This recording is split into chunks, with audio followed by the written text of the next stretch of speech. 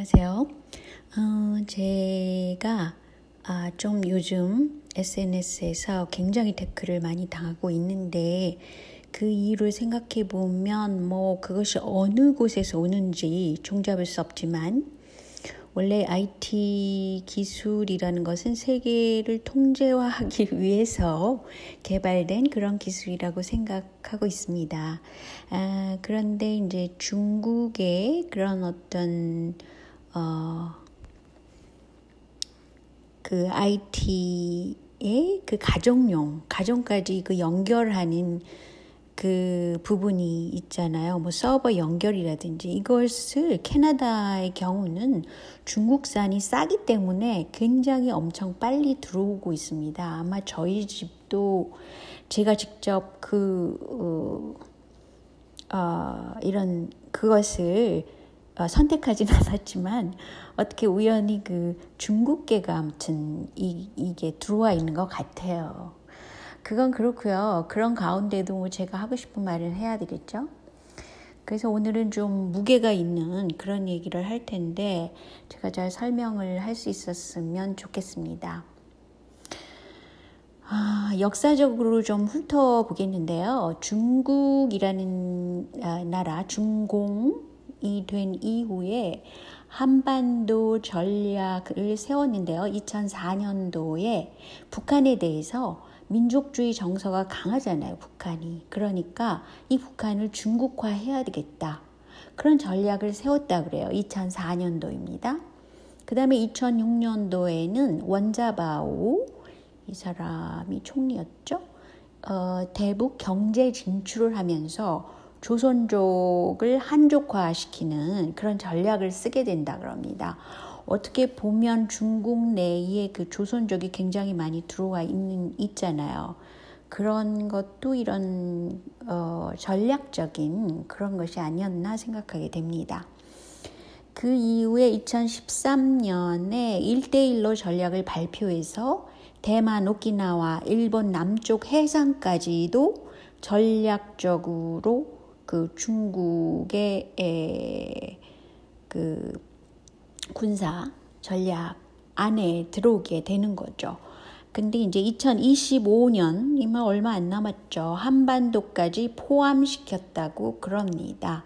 그러면서 여기서 중국에서는 중국몽을 주장하면서 그 중국 내에서는 굉장히 민족주의라든가 국가 사회주의라든가 뭐 이런 거를 굉장히 많이 교육을 시키면서 다른 한편으로는 그, 음, 그 핸드폰 같은 거, 또, 그, 어, 얼굴 인식기, 뭐 그런 거를 통해서 개인들을 철저하게 지금, 아, 통제하려고, 통제하고 있죠. 그런데 이제 여기서 중요한 것은 주한 미군 철수라는 단어를 서포트하는 게 중국몽의 일환이라고 그러나요? 근데 왜 그럴까? 그걸 한번 생각해 보려고 합니다. 시진핑의 임기는 종신형처럼 무제한도로 만들어져 있습니다. 현재. 그래서 임기에 제한이 없어요. 그 말은 뭐냐면 어떤 정책을 세웠을 때 이게 굉장히 군사적인 의미가 있는 겁니다. 한 가지 정책을 세웠으면 그걸 밀고 나가는 어, 가능성이 높다는 거죠.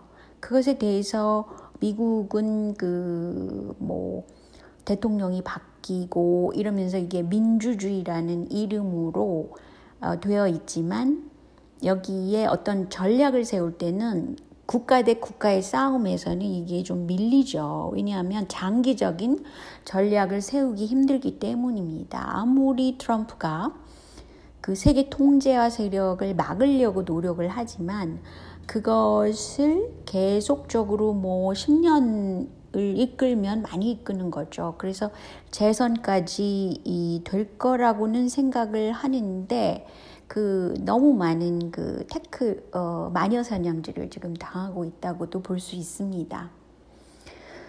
그런데 현재의 미국에서는 여야 상관없이 대중국전 또는 그 개인들을 통제화하는 그런 전자 시스템에 반대하는 그런 기류가 있긴 있습니다. 때문에 이것이 미국에서도 여야 상관없이 전략적으로 트럼프의 전략을 지지하는 그런 입장이 되기 쉽다고 보여집니다. 그런데 이제 중국의 로비라든지 또 뭐 세계 통제와 세력이 만약에 주도가 된다면 이것도 좀 어려워지겠죠. 근데 시진핑으로 다시 돌아가면요. 이 사람은 군대를 배경으로 하고 군대 출신이기도 하고 이 점에서 상하이방 사람들하고 좀 차이가 많다고 그러죠. 그런데 2035년도 목표로는 다완치 계획이라는 것이 있어요. 제가 이제 좀 찾아보니까 그렇더라고요. 아시아 최대의 단일 경제권을 만들려고 그러는데 그것이 이제 홍콩 그 주변 지역입니다. 아, 홍콩과 마카오 이 지역인데요. 이것이 중국의 남부에 있지만 해안가에 있습니다. 그래서 굉장히 그 물류를 그 밖으로 어, 내보내기 쉬운 그런 위치에 있고 어, 또 어, 여기서 다원치 계획의 중요한 것은 국방 산업과 접목이 가능한 기술을 개발해서 1대1로 즉 군비에서 기술력으로 앞세우겠다 이런 계획을 세우고 있다고 그래요. 그 다음에 이제 1대1로의 목표는 2049년 이라고 그러는데요. 그 중에 하나로서 한국에도 한반도의 서부 지역이죠. 서해 앞마당에서의 중국의 무력 시위가 굉장히 많아졌다 그래요. 이런 계획 하에서. 그런데 이제 그것에 대해서 한국은 강력하게 대응을 하지 못하는 면이 있습니다. 그렇지만 한국의 지금 강점은 기술력이에요. 대만과 더불어서. 만약에 한국과 대만의 기술력이 중국의 그런 다완치 계획을 서포트한다. 다완치 계획이라는 것은 기본적으로 military technology에 관한 거라고 볼 수 있어요. 때문에 이런 기술력이 이 지금 중국과 함께 그 support를 한다. 그러면 미국에서는 상상할 수가 없는 거죠. 때문에 한반도의 위치가 엄청 중요한 겁니다. 지금 현재.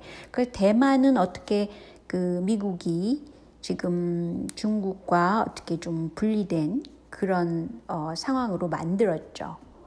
또 홍콩도 원래 그 영국의 지배를 받았 있었던 그런 과거가 있기 때문에 홍콩 사람들은 되도록이면 중국의 정치 체제를 싫어하는 겁니다.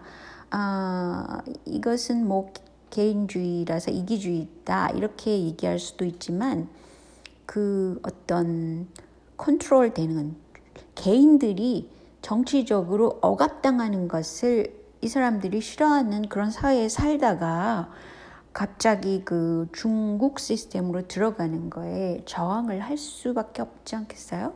이제 그것을 적당히 외교적으로 오, 이용이라거나 아무튼 찬성을 하는 게 미국 쪽이겠죠. 근데 어쨌든 한국, 대만, 홍콩의 기술력과 어, 그런 문화가 굉장히 대중국전에 중요하다는 거죠. 근데 여기서 어 제가 말씀드리는 것에 대해서 잘 어, 설마 그럴까 그렇게 생각하시는 분들이 있는데요. 어떤 문제가 있냐면요. 여기 현재 중국에는 중국판 구글인 바이두가 있고 아마존인 알리바바가 있고 페이스북인 텐센트가 있다고 그러고요. 위챗머니가 있다고 그래요. 이것은 개인들이 이, 그 굉장히 미국화된 시스템을 갖고 있는 거죠. 어떤 방식으로? 전자 시스템으로 되어 있는 겁니다.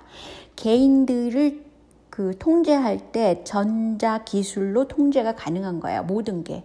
즉, 뭘 사고, 또 소비를 하고 또 뭐, 무슨 대화를 하고 어떤 사람과 어떤 사람이 연결돼 있고 친구로 하고 이런 것부터 모든 것이 통제 시스템으로 갈 수 있는 게 바로 전자 시스템이라고 할 수 있어요. 그래서 세계를 통제화하겠다 라는 세력은 반드시 중국 같은 어 그 어, 중국 같은 사회를 꿈꾸게 될 수밖에 없지 않겠어요? 이렇게 개인들을 통제할 수 있는 그런 기능을 기술을 갖고 있는 있기 때문이죠. 근데 여기서 중요한 것은 미국에는 지금은 돌아가신 데이비드 록펠러라는 사람이 있는데 이 사람은 이제 자본력을 가지고 미국에 정착한 사람이고 아 그리고 어, 특별히 그 하버드 대학의 재단에 돈을 많이 내고 한편으로는 이분이 공화당의 타이틀을 걸고 있지만 내면을 보면은 어, 중국과 굉장히 친교를 하고 있고요. 또 전체적인 목적은 전 세계를 통제하자 이런 거에 굉장히 어, 호응을 해왔던 그런 분이라고 할 수 있습니다. 어쨌든 어, 이 돈의 힘이 위력이 굉장히 크고요. 또 그 문화적으로도 어, 우리는 뭐 다 같다 처음에는 이런 식으로 우리는 뭐 어, 인류애를 어, 존중해야 된다. 뭐 이런 식으로 얘기는 하지만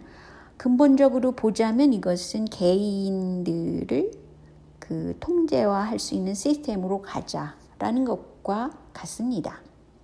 이 돈 많은 사람이 왜 그런 생각을 했을까?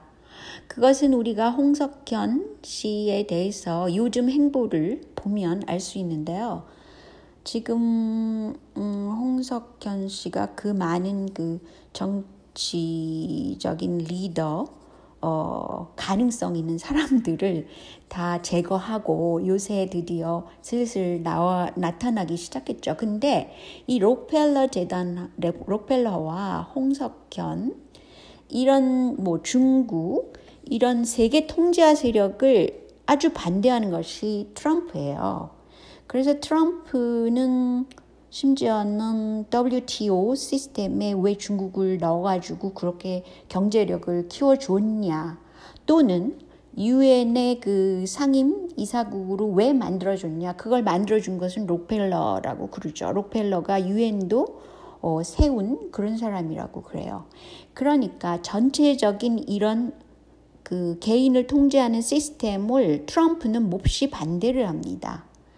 아, 그게 단순히 그 어떻게 보면 개인주의적인 시각이 있다라고 볼 수도 있지만, 어, 이 전체주의적인 통제화 사회를 싫어하는 그런 입장에도 있을 수 있어요.